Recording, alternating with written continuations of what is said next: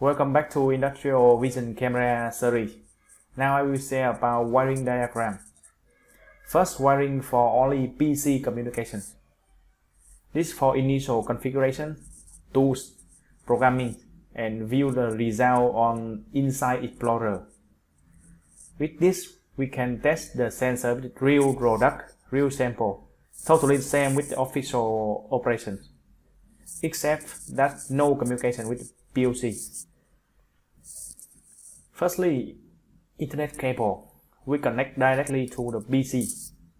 That has the In-Sight Explorer software. And about the breakout cable here, it has 12 pins, but we only need two pins. Uh, 24 volt DC here and GND to supply the power for vision sensor. We connect these two pins into uh, 24 volt DC and GND on the power supply module here.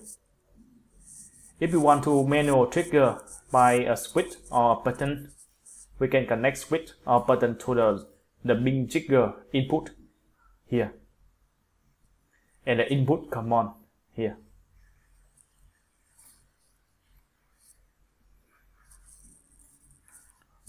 Next, wiring diagram for PC and PLC communication.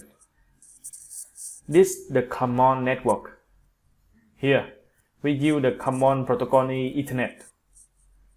Our sensor has only one Ethernet cable connector here.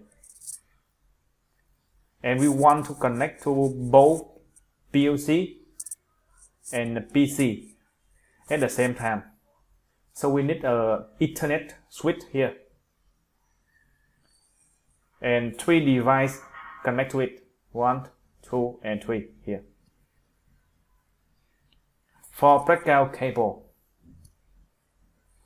Same with no PLC communication diagram. We use two pins 24 volt DC and GND for connecting to external power supply. For general purpose input,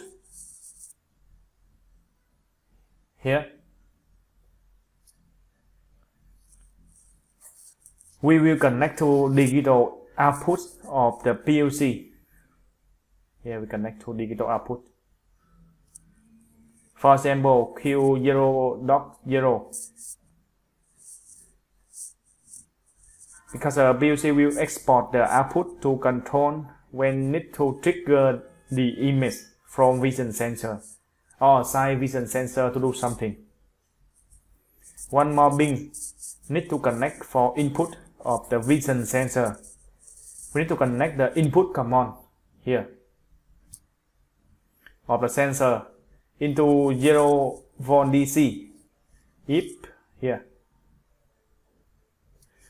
if the uh, PLC output is PNP type and connect input command to 24 volt DC if the PLC output is NPN type and similar with the output of the vision sensor. The output here.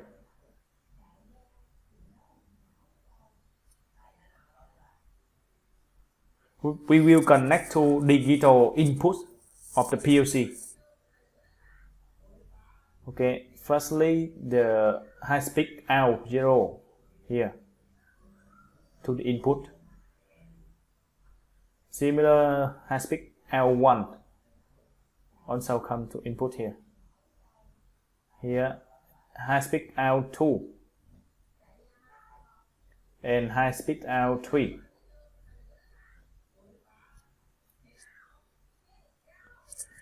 For example, we can connect to uh, E, uh, I0.0 or I0.1 and I0.2 and I0.3. These sensor outputs will give feedback to the PLC the result of the image or product is good or bad. Then PLC takes that signal to control the rejection mechanism. And one, one more thing need to connect for output of the vision sensor. We need to connect the output command here of the sensor into the 0 volt DC. If the PLC output is uh, if the PLC input is NPN type and uh, connect to 24 volt DC if the PLC input is PNP type. Okay, that's all for the wiring diagram. See you in the next video.